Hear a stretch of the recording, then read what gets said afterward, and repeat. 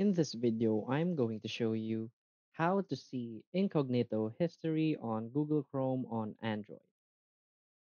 So please watch the video until the end and follow this tutorial step by step to avoid making mistakes.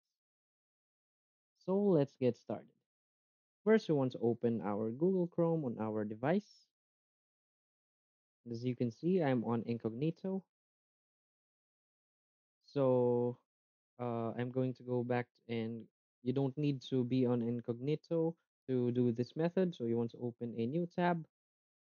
And from here, you just want to type this link, Chrome, and just select the first URL that pops up, which says Chrome URLs. So this page will pop up. And from here, you just want to select the Chrome history link. So you want to tap on that. And all of your browsing data, including your incognito searches, will pop up here.